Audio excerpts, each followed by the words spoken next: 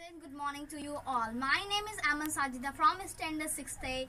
Today I am here to recite a poem about teachers in Hindi. So without any further, let's हम रोज school है जाते शिक्षक हमको पाठ पढ़ाते दिल बच्चों का कोरा कागज़। इसमें ज्ञान अमिट लिखवाते जाति धर्म पे लड़े न कोई। करना सबसे प्रेम सिखाते हमें सफलता कैसे पानी? कैसे चढ़ना शिखर बताते सच तो है ये स्कूलों में अच्छा एक इंसान बनाते शुक्रिया। I hope you all like my poem and from my side many many happiest